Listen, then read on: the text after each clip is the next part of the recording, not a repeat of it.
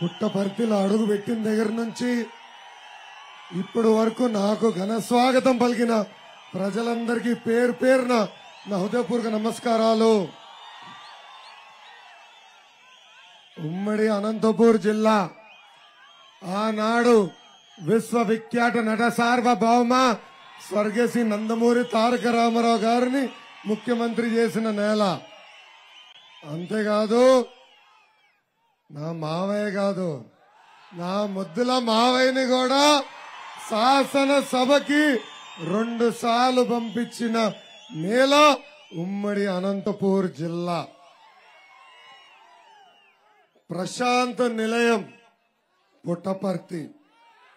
ప్రపంచంలోనే గొప్ప ఆధ్యాత్మిక కేంద్రం ఈ పుట్టపర్తి. లవ్ ఆల్ సర్వాల్ అని ప్రపంచానికి సేవా భావం నిలిపిన భగవాన్ సాయిబాబా గారు జన్మించిన నేల ఈ అనంతపూర్ నేల. ఈరోజు పుట్టపర్తిలో ఎక్కడ తిరిగినా బాబా సాయిబా భగవాన్ సాయిబాబా గారి అభివృద్ధి కార్యక్రమాలు కనపడతాయి ఈరోజు పేదవాడి చిరునవ్వులో కూడా ఆ భగవాన్ సాయిబాబా గారు ఈరోజు కనపడుతున్నారు.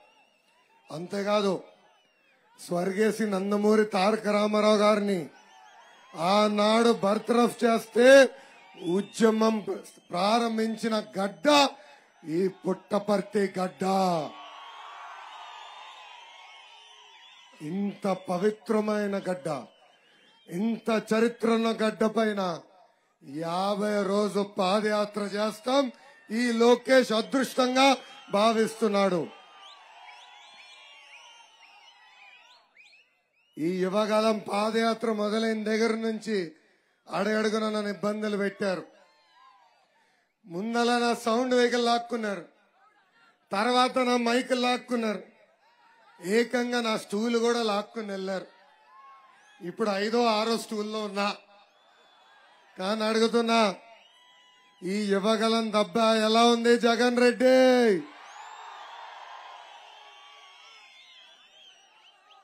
దెబ్బ అదుర్స్ కదా. ఒక స్టూడెంట్ లీడర్గా పనిచేసి ముఖ్యమంత్రి అయిన వ్యక్తి చంద్రబాబు గారు. టెన్త్ ఫెయిల్ అయ్యి చంద్రబాబు గారికి రాజకీయాలు నేర్పించాలని ప్రయత్నించాడు ఈ జగన్మోహన్. చూసాం కదా చంద్రబాబు నాయుడు గట్టిగా దెబ్బ కొడితే ఇప్పుడు గిలగిలగలగలా కొట్టుకుంటున్నాడు. ఆయన రాజకీయం ఉందలా? ఈ జగన్మోహన్ అంతా ఒక అమూల్ బేబీ. ఈరోజు జనమే జగన్ని నమ్మట్లేదు. కనిన తల్లి జగన్ని నమ్మట్లేదు.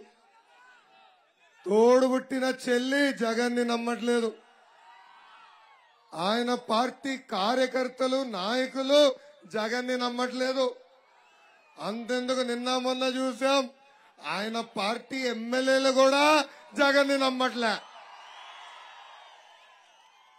చెప్పినా కుప్పంలో చెప్పిన జగన్ రెడ్డి నీ పత్తనం నెల్లూరు నుంచి మొదలవుతుంది.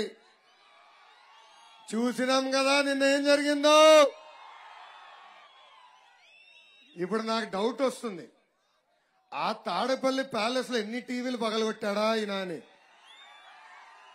అంత దెబ్బ ఆంధ్ర రాష్ట్ర ప్రజలు ఆయనకి ఇచ్చారు.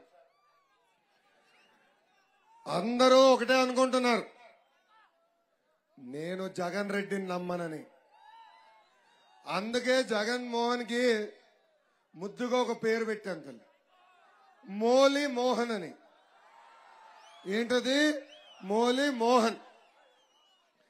ఈయన అంటాడు సింహం సింగిల్గా వస్తుందని. ఆయన ఎంట్రీగా ఎవడు బీకలేడని. మొన్న నాలుగు ఎమ్మెల్సీల దెబ్బకి ప్రజలు ఆయనకి గుండు మంచిగా గుండు కొట్టి పంపించారు. అందుకే ఈరోజు సభలో సౌండ్ రాలేదు తల్లి ఆయనకి. సౌండ్ రాల. ఈ నాలుగు సంవత్సరాల పరిపాలనలో ప్రజల్ని తెలుగుదేశం పార్టీ నాయకుల్ని కార్యకర్తల్ని అడగడుగున ఇబ్బంది పెట్టారు నేను చెప్తున్నా అన్ని గుర్తు పెట్టుకుంటాం. మేం మర్చిపోం. అట్టకు అట్టునారా వడ్డిచ్చే